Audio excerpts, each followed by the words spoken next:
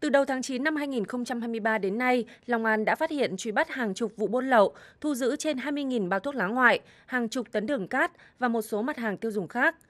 Trước thực trạng trên, lực lượng chức năng đã chủ động tăng cường phối hợp tuần tra, lập chốt chặn bắt, nắm thông tin về buôn lậu từ cơ sở, nhất là các huyện thị biên giới như Đức Huệ, Kiến Tường, Mộc Hóa, Thạnh Hóa, Tân Thạnh, Vĩnh Hưng, Tân Hưng.